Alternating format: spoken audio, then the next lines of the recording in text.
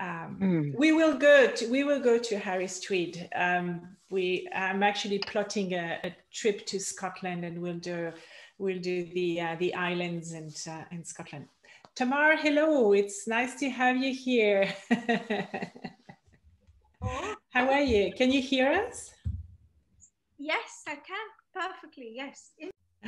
It's fantastic to have you. So, Tamar, um, we've just had uh, uh, a fantastic visit in Italy. I'm going to put the spotlight on you for everyone.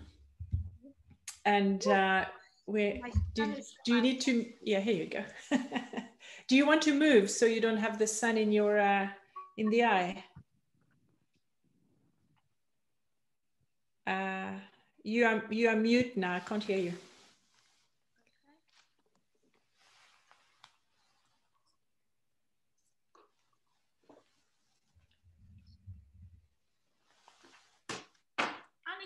Unexpected sun in England. it's true that when we did the uh, when we did the tryout, we didn't uh, we didn't think about uh, the sun. Uh, no, it will, it will disappear in a minute. So, like, yeah. Am I? Yeah, it's really a problem, isn't it? Because that's okay. Do you know what? I, am sure it will be fine. So, um, wonderful. So, thank you for having us in your studio in Cambridge, and uh, we're going to have a little conversation. We're going to hear your story. But maybe we could try by having a little look around your studio because it has a very specific shape. It's in your garden, at the end of your garden. It was built for you as your studio and it has a very specific shape, doesn't it? Yes, it's, a, it's an octagon, which is uh, four meters across. So it's a, it's a round shape, which is extremely comforting. Um, and it's got um, a little skylight at the top of the octagon, which I will, I'll show you the ceiling. Oh, how nice. so, I'm gonna take you for a little tour. Um, there is my desk where I mostly enamel and design. And later on, I will explain about all those objects which are on the table. And there is my little kiln and my big kiln. And this is where this is where you bake. This is yeah. So this is where fire, yes. And this is of course essential, the source of water um, and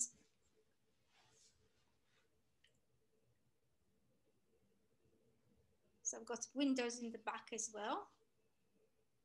And there I'm going to go closer to my to my jewelry bench. Do you work alone in your studio or do you have someone working I with you? I, if, if I, I, all my assistants come from London, so I'm but over the years, I've had I've had uh, students and graduates, and I still have them. Except it's been very difficult at COVID time because I couldn't have anybody. So um, yeah, and I, I, I love teaching, and I love young people who are interested in, in the field of enamel. So it's a blessing. It's a celebration when they come. And this is uh, this is my press. And this is some of the work that I'm going to show you later. Fabulous. Oh, you've got uh, you've got blooms already. Yes, yes. The garden is so promising. Oh, we are so envious. are you still still at winter? Yeah, we don't have snow anymore, but we certainly we are a long way from having any buds or any blooms. Yeah, so I know Yeah, um, have a proper summer and we haven't got it. Yeah, well, it's, uh, you know. so um, I am going to, uh, which we thought that we would do a mix of uh, sharing screen and showing images uh, for you to uh, uh, to tell your story. And um, I'm going to share my screen. Uh, of course, what I had prepared is not there. So let me just go back to it. Um,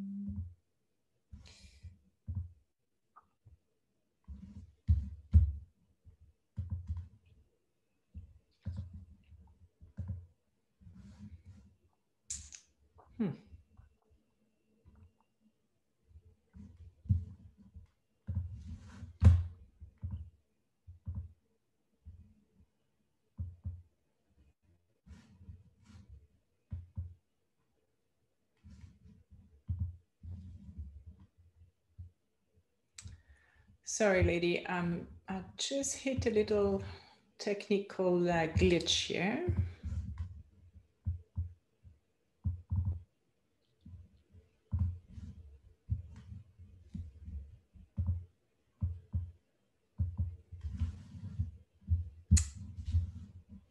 Hi, Tamar. Hi. Hi. Don't you just uh, go ahead and I'll, I'll catch up with you. I'm having a little trouble hearing, though. Oh, this is this is uh, might be my my my computer, but I will. It's on. I, I will try and speak more loudly. Is that better? It's a little better. Sorry, I've got my my volume turned up all the way. Um, yeah. So so is mine, but it might be to do with my computer. So do do please. I'm listening. I can I can hear Tamar well, so I'm not Oh, okay. sure. Yeah. Okay. Um, So um, I, I I'm going to start about um, the first picture, which we'll see in a minute, is to do with Jerusalem. So um, I just um, want you, I want to share with you this sort of the story where I began. Um, so my grandparents left Germany in 1933. So I had a, a very clever, actually it was my step grandfather, but he was very clever and he saw what's going to happen in Europe. And he decided to take his family to Palestine. Um, and it's incredible that my grandmother agreed because she was rather used to Berlin life um, and it was pretty tough then in Palestine. And then my father left Holland in the last minute before um, the Germans, three months before the Germans invaded, and as a doctor. And he met my mother in the hospital. My mother was a nurse. And consequently, I was born on Mount Scopus in Jerusalem. And I always think it is a privilege to be um, connected to the city. Um, and I always, I always go back to Jerusalem because it's such a wonderful, complicated, but completely magical city. Um, I, I was surrounded when I, when I was young by all the objects that they brought from Germany. Um, and I was, um, uh, the importance of beautiful objects were, uh, you know, I, this is where I learned to take notice of, of beautiful things. Oh, here we are. Okay. So what I don't know, Yeah, we it's just, just, we're just going to have to do that because I, uh, if I have to go into the full thing, um, it's going to take us forever. So can everybody see the image in a, at least on most of the screen? yes. Yeah. Okay. Perfect. Um, so I was surrounded by absolutely beautiful things, and I'm I'm sure it's made you know, it, it sort of. I, this was a great influence of my my the history of my family from Europe, um, and also I mean the beauty of the city. I mean the archaeology.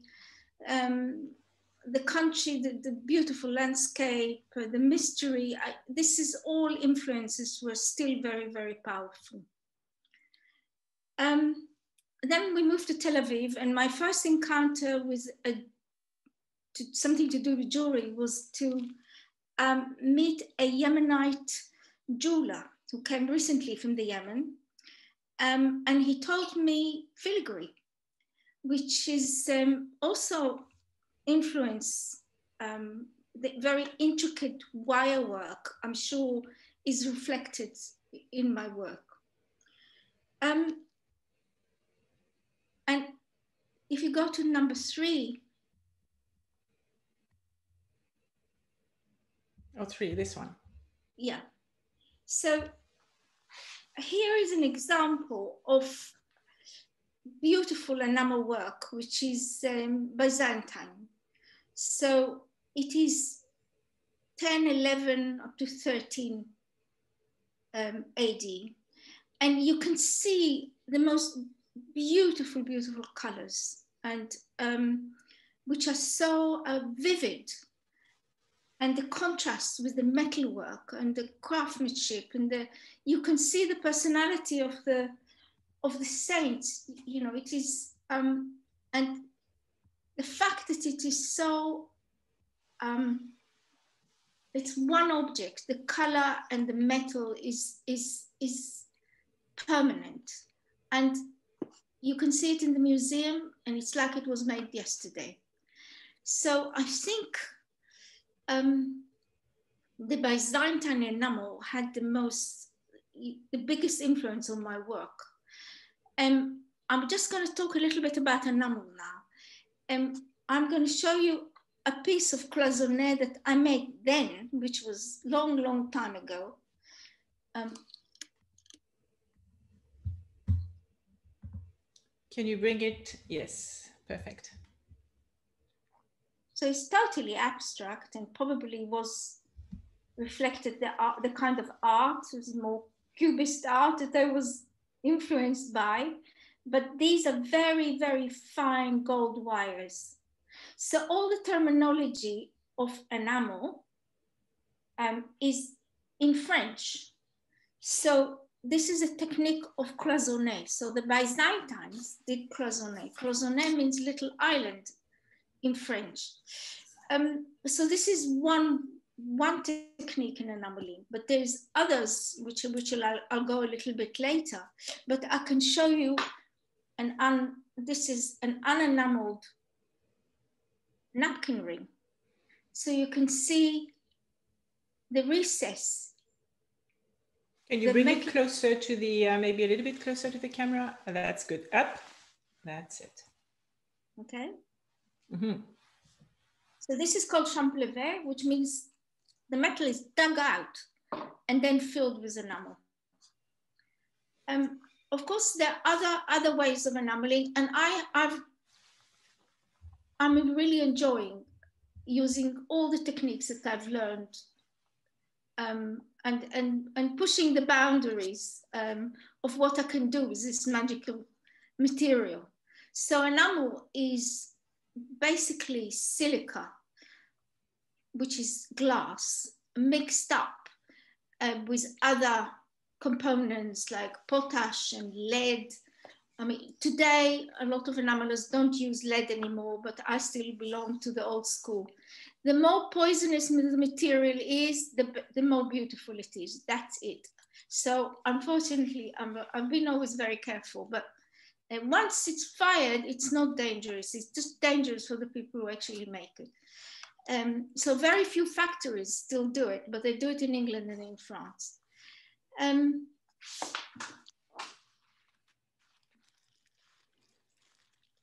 Tamara, before we go into the, uh, uh, the more detailed uh, aspect of the process, I'd like to dig a little bit into your story here.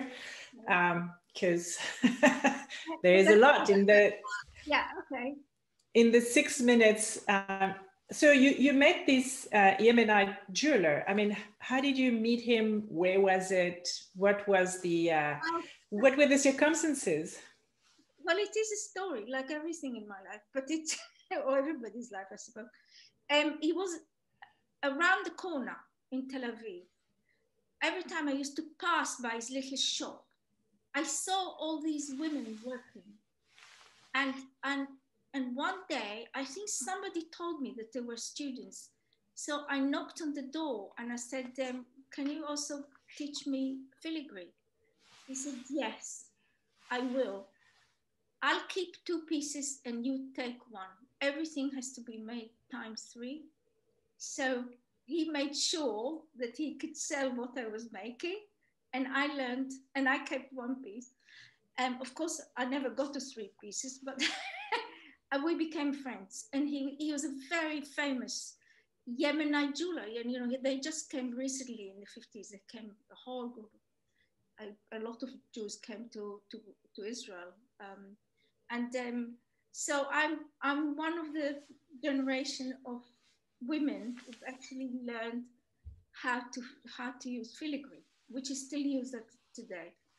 Is um, he still alive? I don't know. I don't know. I think then I thought he was very old, but I was I was 16. but so I don't know if he's, he's around or not. I think. Um, so this is a story of my filigree. Yeah. So you you went to his uh, studio on a on a regular basis to learn while you were while you were going to while you were going to high school, I assume. For high school, yeah. And then I trained as an art teacher for younger children. Um, but my it was quite clear um, that I wanted to study jewelry, and I applied to the UK where I was accepted as um, to the what is today St. Martin's College of Art, um, which was, I didn't realize what a big step it was.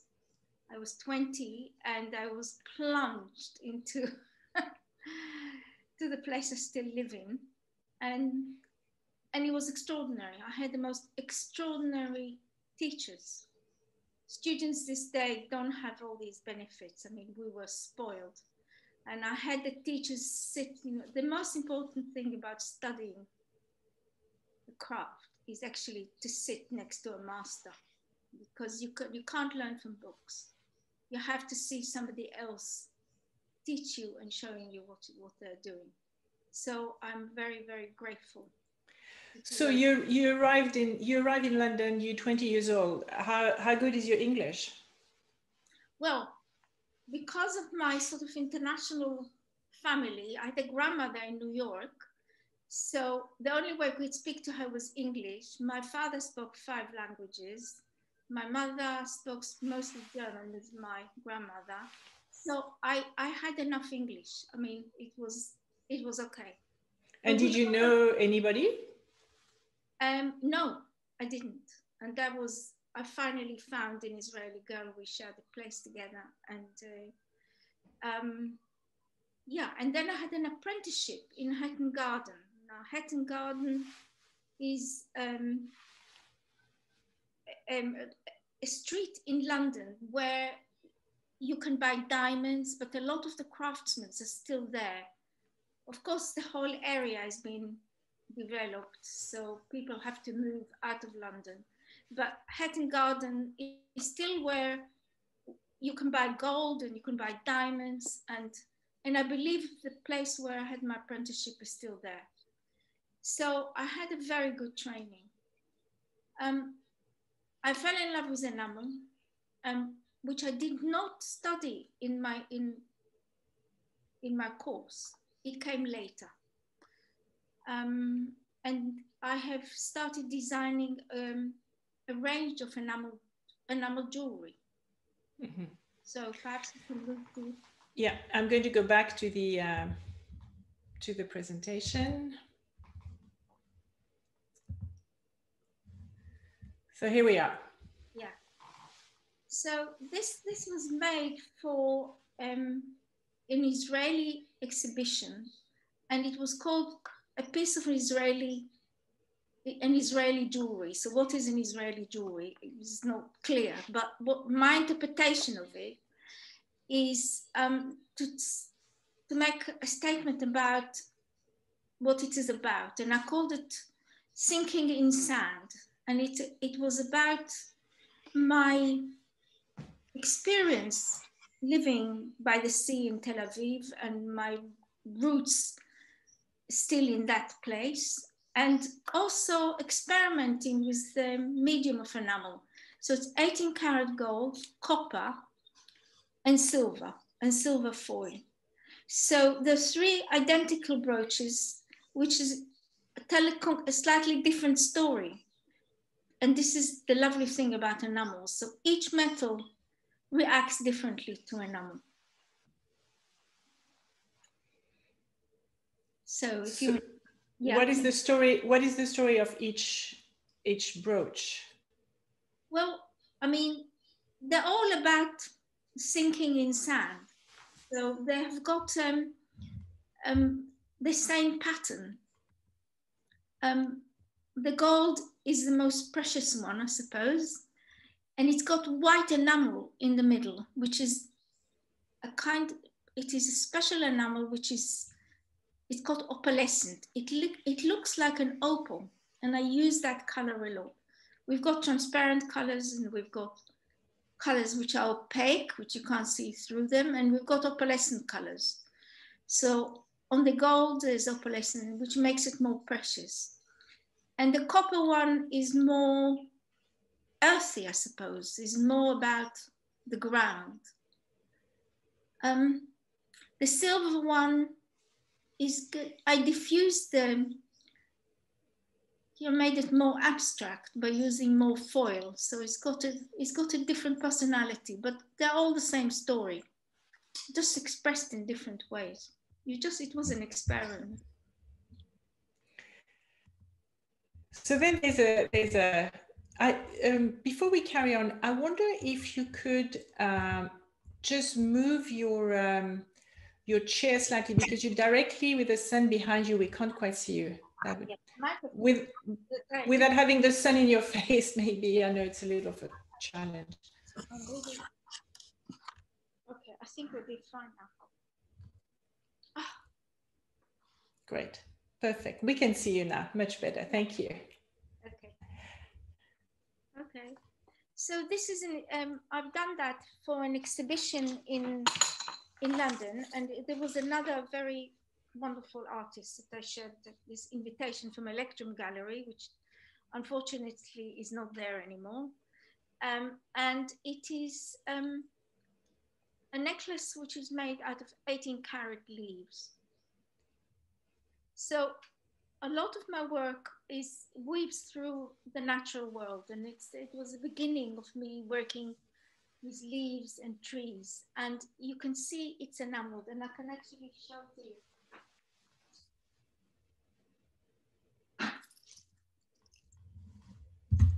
I'm going to move my table. You'll excuse me. I'm just.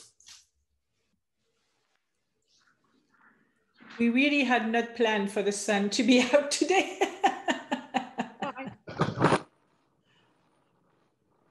It's such a beautiful, bright artist studio. You know, this is what you want when you're working. Yeah, that's right. So there, there is an actress. And I love working with gold. and it's got it's got it's got a sound. So it's got a, a sort of like a you know, like leaves in the wind. Wrestling in the wind, yes. In the wind, yeah. And each leaf has got enamel in it. Can you bring it close? Yeah, a little bit closer up. Up. Your camera is at the top of your screen. There we go. Okay. A little bit higher up. That's it. Perfect. Perfect. Lovely. Thank you. Okay. So, um, and I continue, I, I, I, work with gold only by commission, but I love working with gold um, because it's, it's, it's about the material. I just love metal, but it just, it is it's malleable, yet it's very strong, and it it it will it lasts and it doesn't oxidize like silver. So I this is why um, and it beautifully enamels, of course. So that's the beginning of your uh, your love for um, Yes. And and we're going to see that uh, theme uh, start to develop itself and then add new techniques. So here you have that very organic, the round shape, the egg. Yeah. I know that you you particularly um, uh, fond of this this this work. Yes, and it is you know there's some things I still make even though I've made them over 20 years ago. Um, so and I love making them. It's just like um, because I, you know, I've tested it, that it works. It's very, it's amazingly strong shape, the dome. And the metal and you know, silver, gold, and, and gold foil, which is very, very fine rolled out um, paper, uh, gold paper, which I mm-hmm. fused into the enamel. And then you move to a different, slightly different look and technique. Yes. Well, I've just, I, I, I suppose this to do with my love of color, my love of painting. I needed to express myself on bigger surfaces. And I started making vessels. And I made um, a, a, blessing cup, a Kiddush cup for competition in Israel. I got into a, which was enameled. I was shortlisted, and that catalog was seen by the curator of the Jewish Museum in New York. And um, I got this wonderful commission to make a pair of marriage cups. Ah, you'll have to ignore this.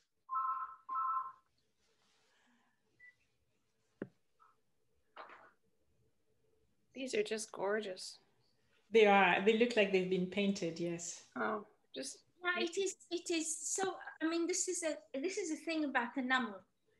It is such an amazing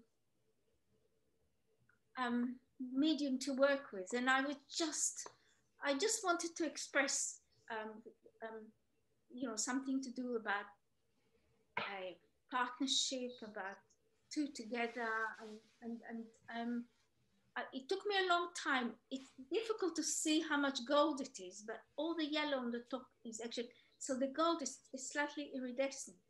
So I believe they're, they're still in the Jewish Museum in New York. So um, I don't know if they're going to be on show, but they're there. Um, so that was an enormous compliment. And then I, consequently, I've started making vessels for, by commission. And I just love the idea of celebrating an object, a bit of, you know, when a person cherishes an important object and wants to mark a, um, an occasion or to remember something, I, it's, it's, it's, it's an object which gives the person a continuous um, pleasure. And, and I think it's one of the one of the reasons I, I sort of enjoyed doing it and doing it also for the Jewish community, which is my tradition, even though I'm totally unorthodox, but it's it is something special that people can celebrate their Sabbath with, a, one of my cups. Um, and here was another breakthrough with um, a, a, commission from the Victoria and Albert Museum and for the first time, I was asked to use text. So the lettering is, excuse me, is the benediction on Friday night. And here are the letters. And he said, is, um, it is, um, how to say it, I lost my words. Um, it's uh, you bless the the the fruit of the wine. Yeah, and it's it's and, the kiddush. It's the Friday night kiddush, and it's the blessing of of the the wine and the bread, and and welcoming the Sabbath. That's right, and and the fact that it is, you know, it is recited again and again and again, and the pattern reflects this continuity that it goes 20 times around um, and it, it reflects this this um, you know what what a, what a, is a kiddush cover about and the white enamel is opalescent again, it's slightly iridescent. And, the, you know, it's a bit like welcoming the pride, the, the bride. You know, Shabbat is like welcoming a bride, a bride. So this is why I used white. And the gold is the, is the precious moment when you hold the cup um, on the golden part. And this is the most kind of important, is the contact of the hand of the person to the cup. So there's also um, a tradition, and um, nowadays when we all um, try not to have any contact with each other, but and I don't know if it's in all the families, but in in our families certainly, and I've seen it, you know, the generations before us, that um, the family that is around the table and is celebrating Shabbos, you all drink from the same kiddush cup. So um, the, the, father in the traditional uh, families says the blessing and then passes the cup uh, from member of family to the next. And each one says the blessing quietly and then takes a sip of the wine. So there is again that's that idea of circle of unity of sharing something in a beautiful moment um, that is a celebration. Mm. It's, um, it's, um, I just wanted to tell you that it, the, the cup was cut, the letters were cut, engraved, um, with, with the help of the computer.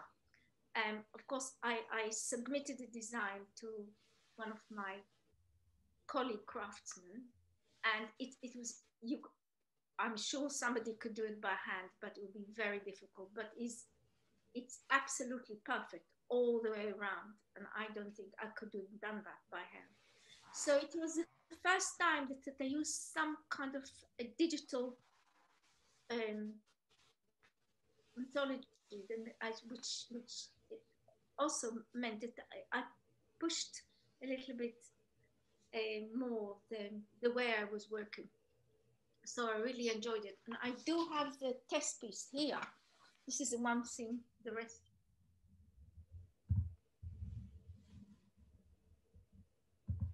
Yeah. Mm-hmm. See? Yeah. It's lovely.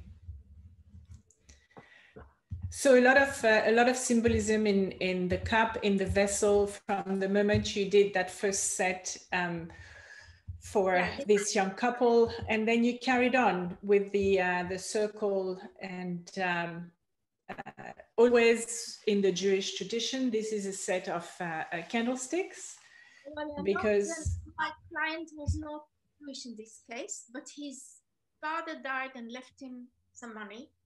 So he came to me and said, I want to remember my father, you making me a set of candlesticks. So it's about memorial, but it is more, you know, it is not necessarily Jewish. And I like it that my work, you know, even if I do um, Judaica pieces, the, the, the design is more, it is, it is not specifically um, just for Jewish people. So um, I've got a lot of clients who are, who are of course not Jewish and um, it was most importantly has to do with the being a memorial piece. Mm-hmm. So you get a lot of uh, commission work. How do you work with your client? Do you meet with them? Do you interview them? Do they send you photos or um, how do you get into their emotional space to be able to translate it into the object that they're going to relate to? Well, it's not, it's, it's a very interesting dialogue. Um, with some people, it's much easier. I mean, this, this candle holders, I mean, he was, I always say he was the client from heaven because he was just, it's to do with trust. And, you know, some people have a very strong idea what they want. Um, um, if they've seen something I've done before, or sometimes I'm not able to do it for them. So I come to the point to say, you know, I'm not the right person for you to make it. But I think I just like to have my own freedom. I'd like people to trust me that I'm going to do the best. but of course they have to you know we have to agree together this is what i'm doing. But at one point i, they, I ask people to let go and i need to be left on my own. Um, and so i have some wonderful clients um, and it worked. And i think it's a very you know it's more than just it's the dial the the pieces become something else when it goes to you do it for another person. But there's still the relationship that, i you know people come to me you know 30 years ago you know i'm still wearing this or i'm still using your, your cup every friday. This is my reward.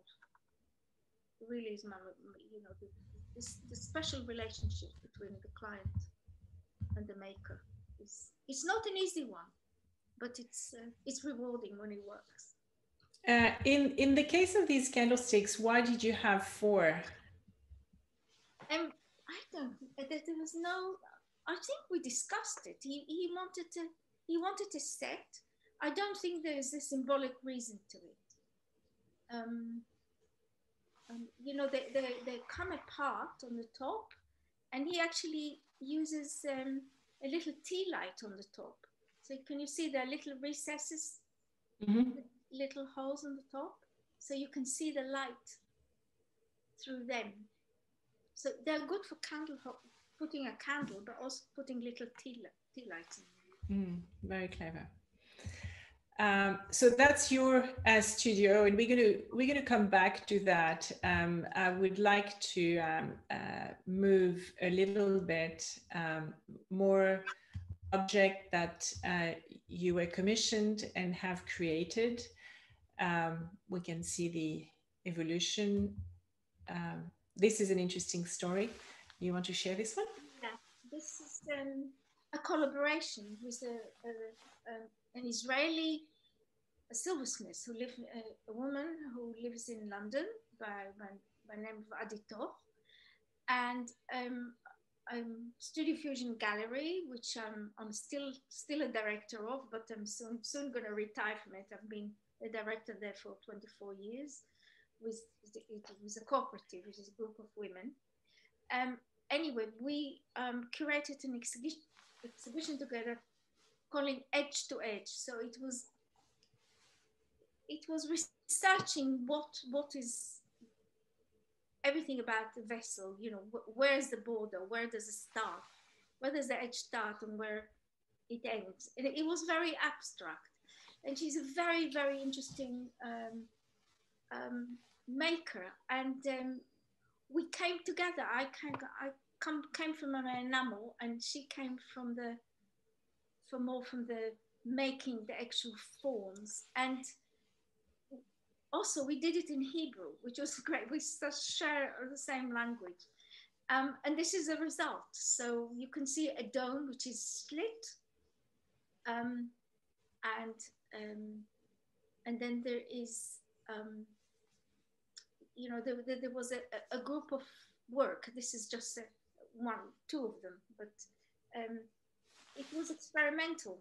And, and somebody came to the gallery and it was most unusual because it wasn't exactly you could use it or anything. It was just two objects sort of talking to each other, and then it and then it was bought. So it it was. I, I love working with another artist. It's uh, that's another thing I, I, I enjoy. So this the the uh, collective that you briefly mentioned. Um, I'm going to give a little bit more story about it because it's quite an achievement. It is a collective of women uh, silversmith and jewelers, and uh, it's called uh, Fusion Gallery. It's at the Oxo Tower now. Um, oh, Susan, just, it's just closed. We had to close. Oh, you had to close. Oh, it's going online, so it's not completely closed. The gallery is not closed. The physical, the physical place is closed. Yeah. Right. Um, and uh, uh, you you are all. How many of you were there? Three, four of you. We started. We started six, and it was seven. Then it was in the last two years. It was four. Okay, and um, are you all um, uh, associated to the goldsmith? Except one, yes, we are. Uh, so um, the three of us, three of us always um, um, show at the Goldsmiths Fair, and we'll do this year. Okay, so do you want to uh, remind us of the names? The date is, well, it's still to be confirmed whether it's going to be physically in the Goldsmiths Company or it's going to be online like last year, but it's going to be at the end of uh, September, uh, October, mostly into October. And what are the names of your um, of your partners in the collective? Uh, Daphne Krinos, who is a very um, and and uh, Louise O'Neill, um, both both jewelers. Mm-hmm. And I interviewed uh, Daphne back in uh, June uh, last year. I will share the link to that if you missed it when we did the series with the Goldsmith Fair. Um, and it's a lovely work. So let's go now into um, the story. I mean, I love this one. We'll we'll say a little bit about uh, about this one and about the work, and then we'll move to the photos and your and your family story and the roots. So this this uh, this is called. Um, there was an exhibition in in Devon through the British Society of Enamelers, which I was a member for many years. Um, and these are copper and for the first time, I used um, liquid enamel, which is, um, it is, you dip the cups or spray them, um, which is another way of um, laying enamel. So you fire them. And then um, I started um, using print on enamel. So these are the trees photographs of my trees in my garden, um, which have been made into enamel transfers. So it is like normal print, except you using a silk screen and you using enamel enamel colors. It's wonderful to be able to create a legacy of where you live and, and have something that you can you can share, you can pass on. I can see a set like that for each children or grandchildren, or I mean, we can to, to be able to connect um, the story to, to a piece like that. And that brings us to uh, the story of your family, really. Yeah. And that's where I would really like to have you tell us everything. So um, my grandfather um, was a soldier in, in the First World War, and he um, left a diary, uh, which is it is in Tel Aviv now with my brothers. Um, but he was he was in the medical corps. He was a, a nose and throat um, doctor, and but I think he was you know, he was a, just a general doctor there because there's so many. Um,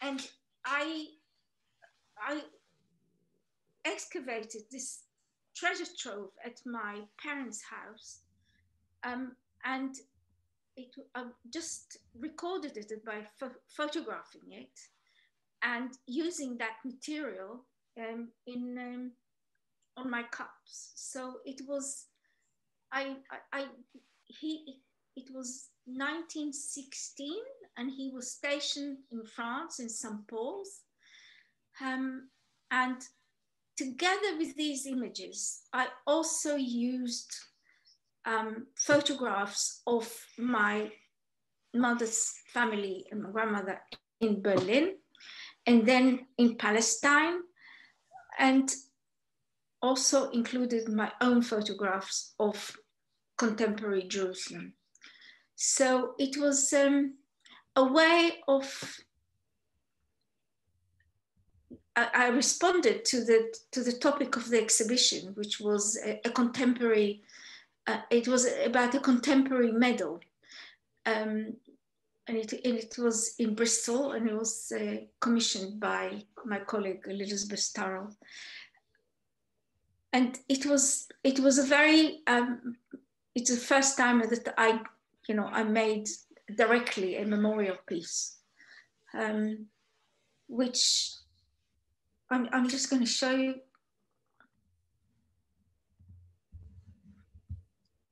Do you this want to come a little bit closer? Yeah. This is his medal of the Iron Cross. And he, he won, he, he got this medal.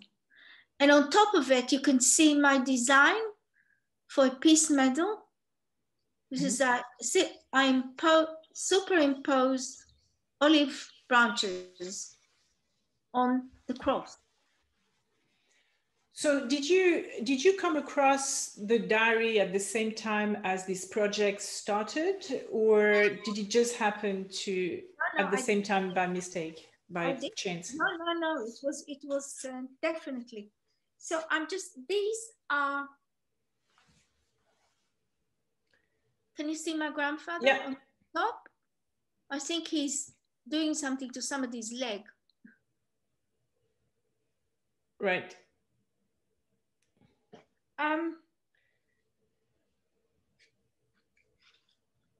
this is in the trenches. Which one is he?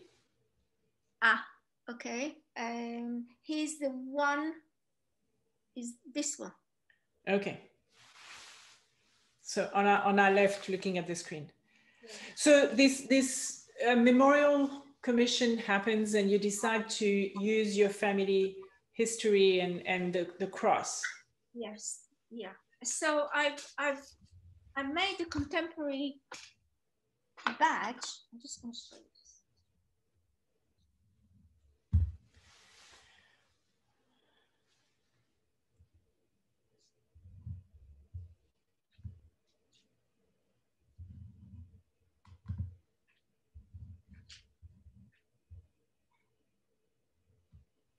Can you bring it up a bit? Yeah, that's it. Uh, okay, so that's the badge you made, stylizing the cross on the medal of your grandfather. Yeah. And I believe there's a, one of the images on the PowerPoint. Is yeah, I'm going to go back to that. And that was made like like a I had made a die. So when you when you make coins, you you use a die. So you know I have a a steel die which I can make hundreds and hundreds of them. So I, I you know, I, I keep making them. I think that's the only image we have, isn't it, um, Tamar? Um, um, oh, here it is. Yeah, that's it. Here it is, yes. Yeah. Yeah, there it is. There's my grandfather. I just want to show you while we're talking about it.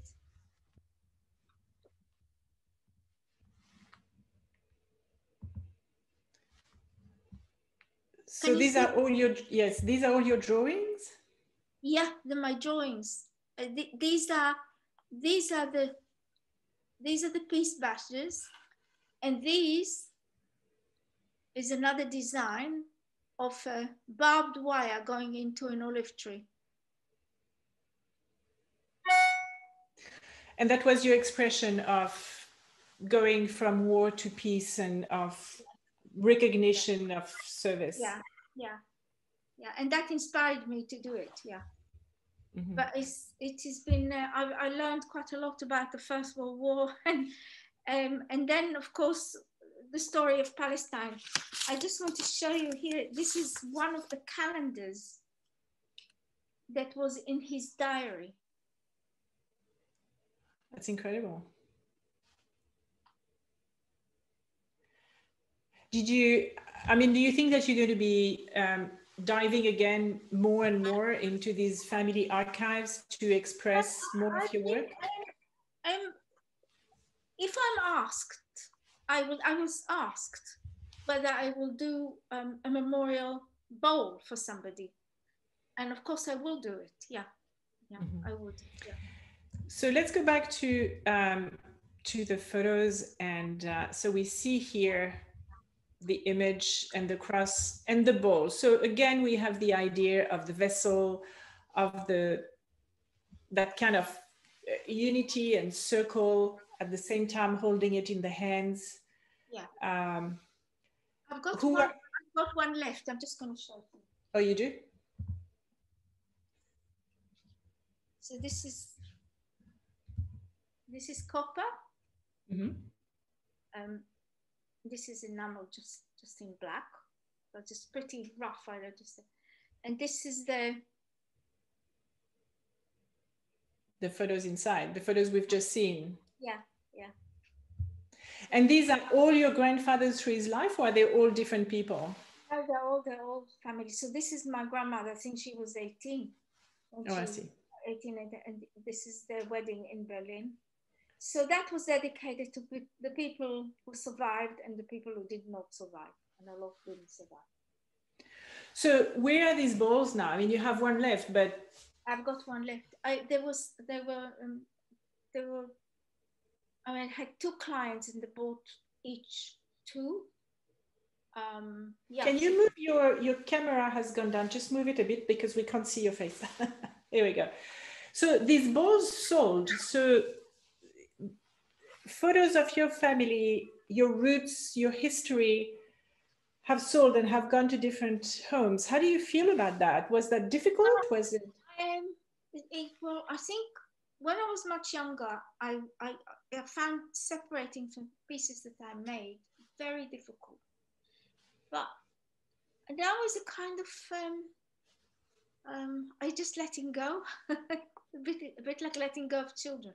It's just like, I've given it my blessing and I, I, really, I appreciate um, you because some of it is, is quite abstract and not all very specific but it did you know the, the one that i had i had one of uh, jerusalem and they are quite abstract so no i think i think it's good the, It's only, okay. thing, the only thing is when you make a set when you make couple of pieces which are related to each other it's quite nice if somebody buys the whole set but I, I just let go of it now. It's You fine. just let go of it. um, so again, then we can see the uh, the cross here, and then you moved to uh, this project. Yeah. So, um, I mean, using the method, the technique of printing on enamel, is is enabled me to um to express my my what I feel and my um, what is you know the world that surrounds us around now.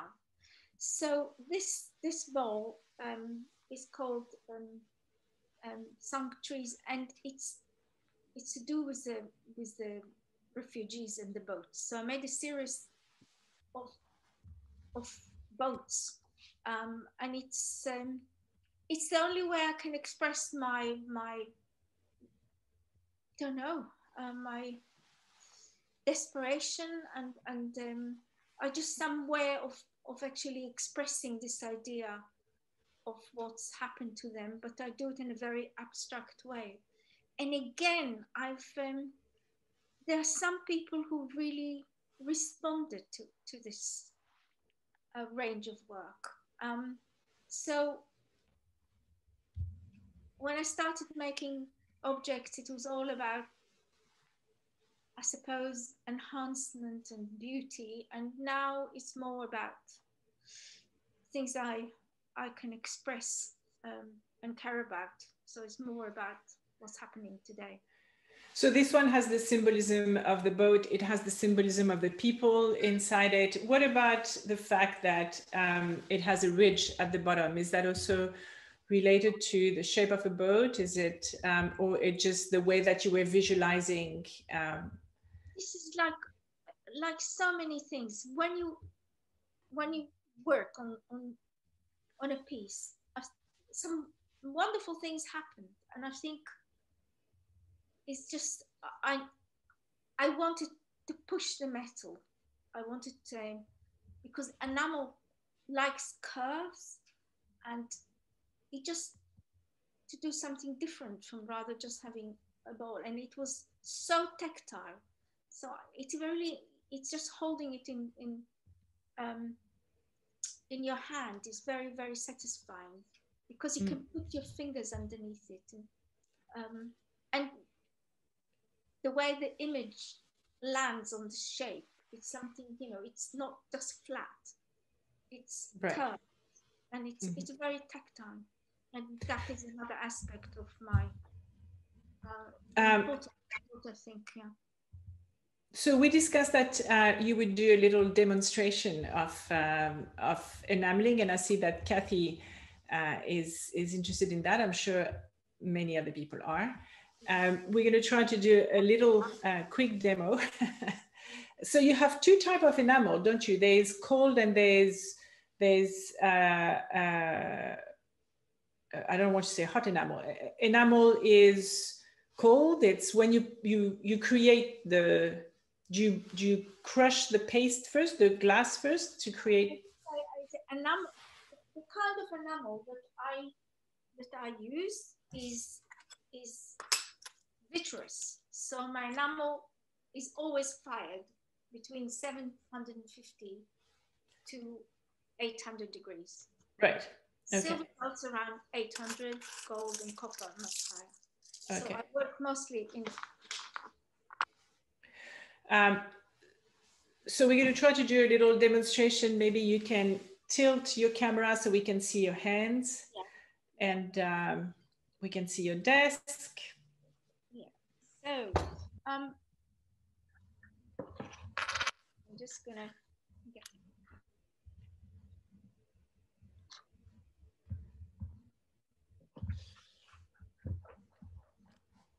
So in some ways, I still work as they did in the 15th century or before. So this is my agate mortar and pestle. And I usually start with a crystal. Right. And I would put some I'm just going to show you what I do. Do we turn the screen a little bit more to see? Yeah. There we go. That's there. it. Perfect. Perfect. Perfect.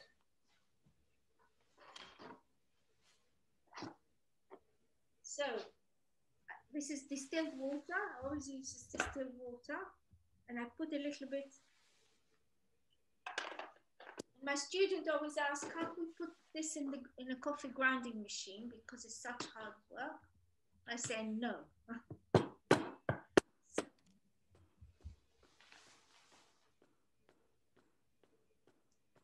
so this already is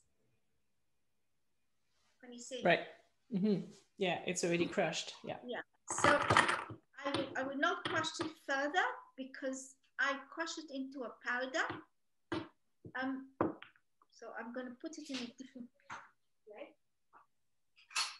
I'm extremely fussy about it all being very, very clean. Um, and there's some processes, you know, you don't have to worry so much about, um, you know, a little bit of dust, but, you know, um, but I'm what does dust dust would create impurities uh, in the in the piece once you fire it? This this is a transparent enamel. I just want to show you. Um,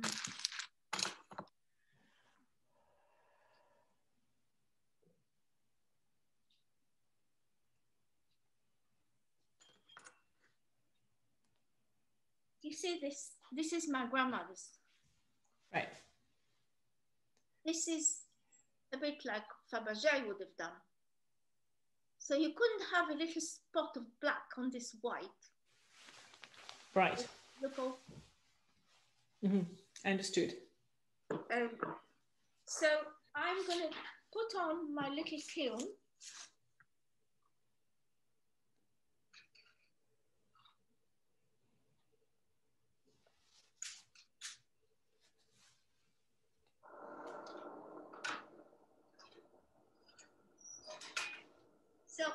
still use um, a gas kiln.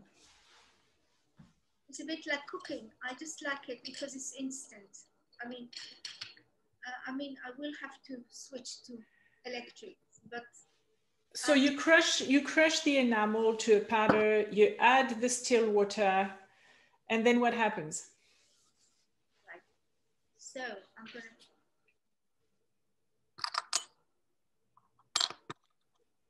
So here I have a piece that's already enameled. Mm -hmm. But I'm gonna yeah. I'm, I put a little bit of blue on it. Okay, yeah.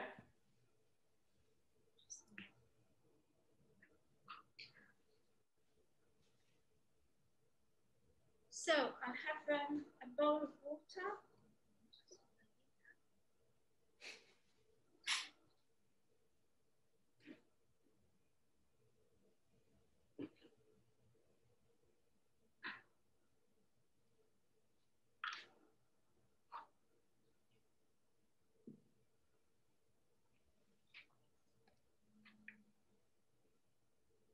So here it is, my enamel, and there is my clean water. So some people use a quill, but I quite like using a brush.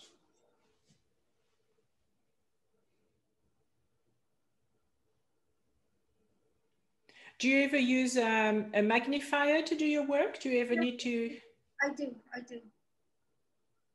I mean, what I do is actually I put a little bit of spit because this is degreases it. So we all do this because this is how we were taught to do it. So I would lay the enamel there. So if I wanted to have, um, and you can, you can decide where it goes and how much enamel you put in. The trick the trick of enameling is using it in very, very thin layers. So do you have grooves in there now that you are filling with the enamel? No. You're just putting it on top of it? Uh, this one I'm just going to put on top of it. Right. Um, so I'm just giving a little bit of blue. And I'll spread it again a bit. So this is before it's been fired. Right. Now, if I wanted, this is champlevé, which is the metal is cut out. This is my piece badge. Yeah. Um,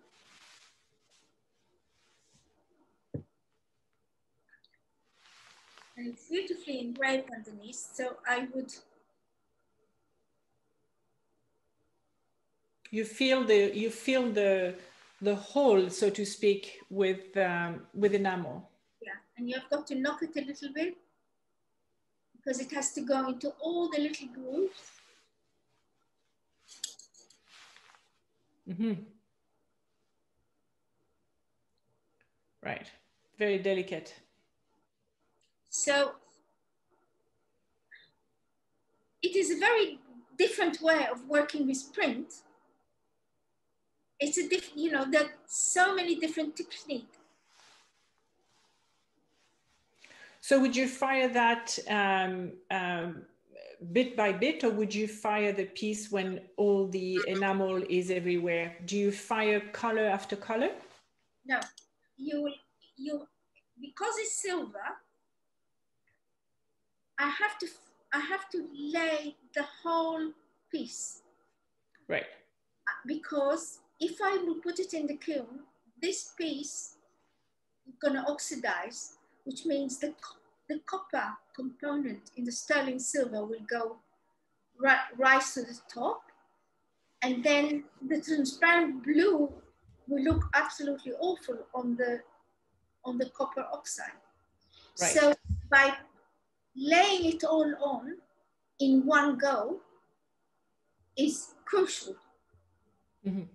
So this is where it becomes extremely demanding craft. Because if, if you do if you do a big piece, you got to cover the first layer. Afterwards, you are safe. Right. Um, and this is and cleaning the silver. Of course, with gold, it doesn't matter. You can you can do a little bit, and you can put it in the in the acid, clean it up, and then carry on. Mm-hmm. Mm-hmm. But with silver is very very tricky. Right. And co- copper is easier. It's easier, but we tend to thin thin layers. But the first one is absolutely crucial. Right. So how long would you how long would you fire this for? Well, I, I will show you now. I just, you, can you see the small kiln? Yeah. Yeah, we can.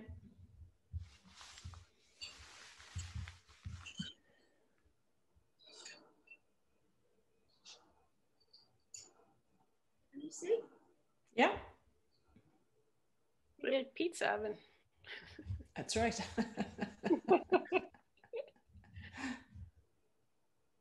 I actually had a chance to do um, uh, when we went to London. Actually, Susan was with me. We went to London for London Craft Week, and there was a gentleman doing an enameling demonstration in one of the location, and he asked who would like to try, and I did, and it was extraordinarily frustrating because it it doesn't go where you want it to go, and it pools in a place where you don't want it to pool. And uh, anyway, so uh, so how long is this going to cook for? It's, after a minute. Under a minute. And how do you know when it's ready? Do you is do you just check? I'm, I just, I just take it out and look, but I can tell. But when I Right. do, when I do my big pieces, I time it. But also, I, I, I just look in the kiln and see what's happening. So, if you have an electric kiln with a timer, you can, you know, you can set it up. But you, you know, each firing is different. How much enamel you've done, how warm the kiln is. It's, it's basically just looking what's happening. Right. Experience, knowledge, instinct, and and checking regularly. It's a little bit like cooking. yeah. So nice. So now it's coming to a sugar, a sugar state.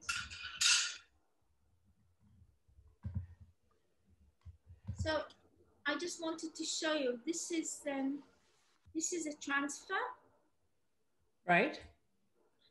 and I'm just gonna put it on on a piece of on a piece of test it I've got. I just want to show you what I do with the transfers. Okay.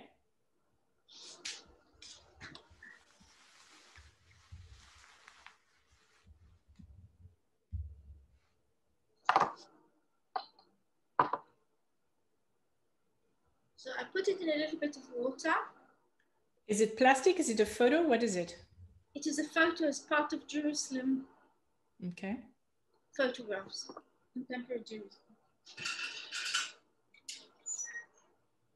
Yeah, don't forget the cooking. That's what I do. I put it in the oven, then I walk away and I forget.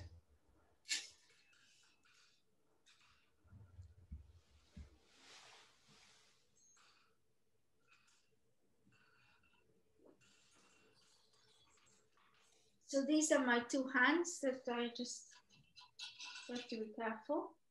So, so that is that is fused now, hmm and I Yeah, we can see. yeah we just need to to wait until it cools down. Yep. It will cool down.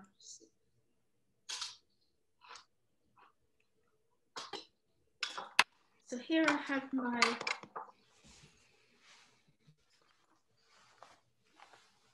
my decal, my transfer. It has to separate from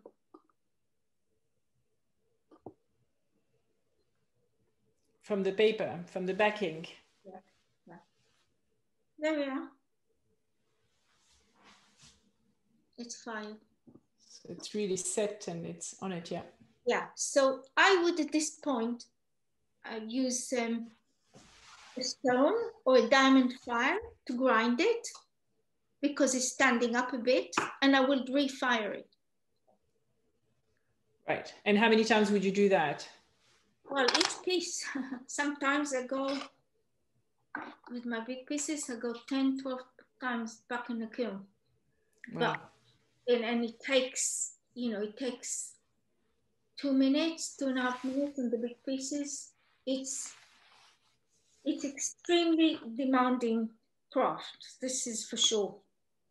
Um, and as long as I've done it, um, it's it's still demanding. They're always surprised.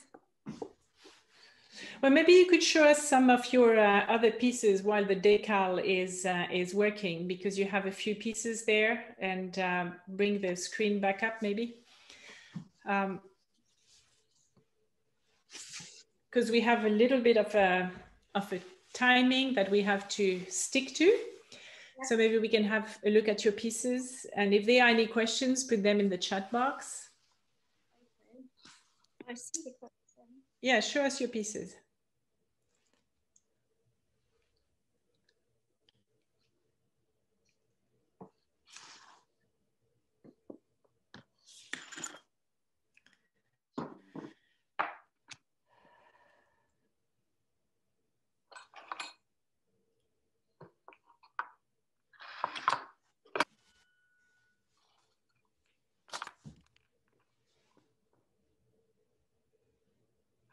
Just wondered if I will put the computer, just tell me if light-wise it's okay. Can you see? Yeah, if you put it, yes, that's great like that. Just bring the pieces from the from the bench to the computer and we can see them nicely. That's it, perfect. So these are two cups. Mm-hmm. Are they silver? This is silver, isn't it? Can you see? They've got a bump Yeah. inside. Yeah. This is this is that, and so that this is the talking to each other. That's lovely. So Were they made for a specific project or just pieces that you made like that? This is, it's to do with leaves again. It's to do with my kind of Right. thread of work that I'm working with. It's gorgeous.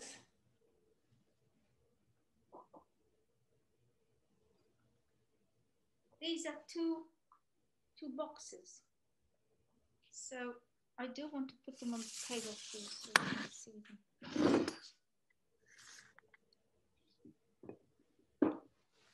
Mm-hmm. And the the lid, yeah. So these Oh, are cups and a box. So Mhm. people can use them for spice boxes. Um, Right. called And and spice box has a very specific um, uh, meaning in the Jewish tradition, doesn't it? yes. It's it's the object that you um you know you mark the end of the Sabbath, and you um it's wishing the a good luck for the week, and and you have a, usually a spice, um which is of your choice. So I'll just show you another another spice box.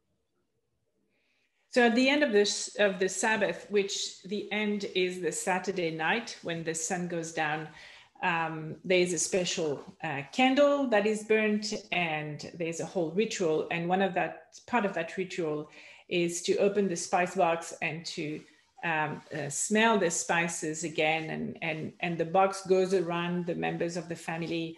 Uh, so it's a very strong um, uh, symbolism to that. So this is this is nice. This is again olive tree in Jerusalem. Mm-hmm. This is- this is- It's got cloves in there, so it's absolutely wonderful smell. Right. And it's enameled inside too. Yeah. hmm So uh, do you make the box itself or do you just do the enameling? I, do I do them. no, a, my colleague does it. Yeah. So they're they're quite heavy these. hmm Beautiful. So they they also so these these actually screw, and they've got a little bit of a gold foil in the bottom. hmm So these are my series of boxes. Um, And do you still have some of your uh, boat shape or, or a leaf shape, the, the oval vessels?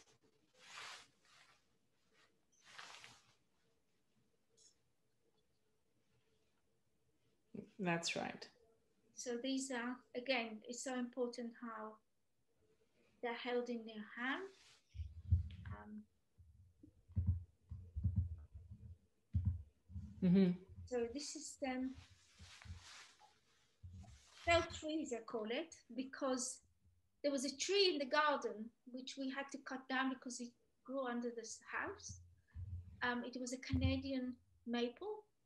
Um, and so I took, this is the photograph I took of its leaves. And this is, you know, it's, it's about, Gorgeous. it is about trees cutting, being cut down. Um, and everything that associates is, you know, it's to me trees mm you know, when you cut their roots. And this one was made after I visited the American African American Museum in Washington D.C. Um, and there was this amazing um, record of, of the boat um, in the 18th century and in what terrible condition they lived in. Um, so this is my, my my response also to the tragedy of the boat people. Mhm. It was inspired Fantastic. by, by the slave. Um, Right. So I really, I, I really enjoyed doing that. And um, this is an older, this is an older piece, and it's called the split tree, and it's a tray. And in here, you can see this is the walls of Jerusalem. All right. So it goes all the way to the side. And it's got it's also split here. And it's also it's split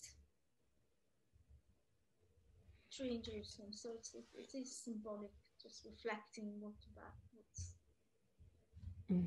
what's going on there. Fantastic. Um, Tamar we're going to have to, um, uh, if you want to sit and we can see you before we end, uh, we're going to have to uh, to move on. I'm afraid, um, but it was really fantastic. I wonder if there are any um, uh, last uh, questions for Tamar. I think that all your work we can see on your website, which I have shared with everybody. Um, and obviously we'll come and, and see you when we are in uh, when we are in Cambridge. and you are going to do um, Goldsmith Fair in September. I I am hoping I'll be able to uh, go there and at least you know share the work digitally, if not uh, in person, for those who can uh, travel with us with me. But um, even if I can't go there, I know that um, there will be a, a program uh, through partnership too. So um, we'll we'll be sure to uh, to reconnect with you uh, then. Um, I think I can't see any uh, any questions, but thank you so very much. Um, it was really so enjoyable and, and so wonderful. Your story is is fabulous. So thank you so much. Thanks a lot. Okay. Thanks. Bye bye. Here we go. All right. Uh, okay, ladies, um, it was a little longer than I had anticipated. I apologize for that. Tamar was not in a chatty mood today. Last week we couldn't stop her talking, and, and today she just wouldn't. Um, lots of lots of symbolism in there, and I wish she had shared more about her story, and but she just uh, she just wouldn't go there. I don't know why, and. Um, because there were multiple peoples on the screen, maybe one on one, she is more intimate. So That's true. it's, her it's work is exquisite. Her silver work, I loved it. It's Oh. exquisite. She's very Yeah. intense. Uh, Uh-huh. And and I love the trees. yes. mhm. And I was surprised by how contemporary some of the pieces were, like the silver cup with the blue, the cobalt Oh, blue. that Love that. That That was was- gorgeous. I wouldn't look at that piece and look at her and her story. Yeah, and, good and point. connect. Yes, That Yeah. amazing. yes. Yeah. The other The- thing, the- those Um, candlesticks. Yes. Love those candlesticks and uh, the usable and just gorgeous. Yeah. I found the translation between a multitude of layers of memory translated into a single delicate piece that's so delicate, not fragile, but but delicate, and you could hold in the palm of your hand. The the the just the the journey from all that memory, all the that, that's loaded with so much of a story of history, um, and then translated to something so beautiful and delicate mm-hmm. that has the story. You have to not to know the story. To me, that's ten times more powerful than the ten boxes of books and documents and you know, like the, the, if you want to know the story, do you know what I mean? It's like taking that and synthesizing it and giving it to us in a new, restored way. I found that very powerful. Mm-hmm, mm-hmm. I was surprised that um, she was okay. Give, I mean, selling it because it's her family history, and I that to me mm-hmm. was a mm-hmm. little surprising. Um, and, I said and... she had doubts about that afterwards. she had second. Say again. I said she had second thoughts about that. That they were maybe. separated. The collection was separated, and know. Yeah, yeah, maybe. Oh. But um, anyway, very um, so that's uh, that's the end of our program uh, today. We we had a little bit of um, hiccup, and I, I apologize for that, but wasn't too too bad. I was a little worried about uh, about Italy. I was wrong. Um, tomorrow we start again. Irene is laughing. Um, tomorrow we start again at uh, nine o'clock, and we should you should all have the um, uh, the program. Uh, we're going to, uh, well, we start with Irene. Uh, we always start with Irene. We're going to talk uh, mosaics tomorrow. Then we're going to go to um, Andrea Salvatori. So that is going to be um, out of this world and mm. there's going to be no issue with talking there. I can promise you that. Um, he is um, a ceramic artist who mixes pieces that he finds, you know, in places wherever he goes. And you're going to see his warehouse has tens of thousands of objects in it. It is mind blowing. It's um, and he lives in there. You're going to see his bed is in the middle of the warehouse. Oh. It is the most extraordinary thing. Um, I'm going to share with you today. I'll send you links um, Marco Venturi, whom we met last week. He is the owner of Made in Britaly, not last week, two weeks ago on our last trip. He was part of the uh, Crafting a Difference collective.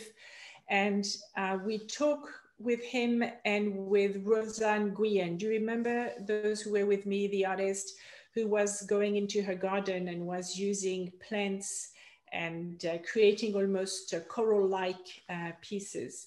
So same gallerist, and but this time going to Italy. There's going to be with us because um, Andrea Salvatori speaks very little English. So there's another lady who's going to be there who's also an artist and who's going to give us um, the translation, but also add elements to it. But um, Marco sent me some references of books to Dadaism, uh, which is very important in the work of Andrea Salvatori. So I'm going to share that with you. Um, so if you have time to do a little of prep before tomorrow, if you're interested in, otherwise you have the references that we have in the, um, in the brochure that you received. Um, and then we go from there to uh, Dianora um, who's going to share her story with us and show us her scarves. I just want to emphasize that there is no expectation that you're going to purchase anything, um, but her story is interesting and, uh, and um, uh, her family is related to the Medicis on the banker's side. So if we can get that story out of her, it's going to be interesting. Again, Italy and different parts is in is in strict lockdown, and I know that she is. Uh, she's mentioned it to me two three times. She will be wearing her mask because she's in her um, studio and there's going to be someone with her. But we should be able to um, uh, to hear. I had no difficulty hearing and understanding her when I spoke to her a couple of days ago. So. Uh, so that's the scoop um, a little bit less rock and roll than it was uh, a couple of weeks ago. But I think it's uh, the pace is going to pick up tomorrow, and uh, I think you're going to be quite entertained tomorrow. So. Well, I, I was quite entertained today. Uh, So Good, good. But it felt last last time we had personalities that were uh, huge personalities with the artists and the galleries. So um, this felt a little a little quiet today. I don't know why. Mm, it was lovely. Good job. Oh, it was wonderful. Thank you. Thank you. Thank you. Thank you. It was great. You're very was great. welcome. I'll see you all tomorrow. Thank Yes. you. Bye bye. Thank you. Thank you. Bye bye. Bye. Au revoir. À bientôt. Zoom. Where's my Zoom? Uh, Erin, do you want to Voilà. stay on and we can just prep for tomorrow a little bit? Arrivederci Irene. Grazie mille. Ciao Alice, ci vediamo Ciao. domani. Ciao. Ciao. A domani. Ciao. I don't know how to get out now. Is that well, There we go. Okay. Love her. Okay. Right. Yeah. Uh, it was good.